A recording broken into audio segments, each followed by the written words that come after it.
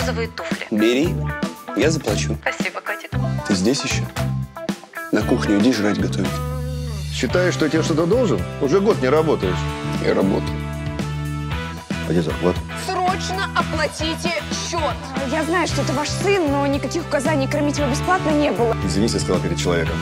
Уволено! Будьте к нему максимально беспощадны. А если будет сопротивляться, сразу звоните мне. Давно пора жить отдельно и самому зарабатывать. Начнем сеанс трудотерапии. Фартук неси свой поганый.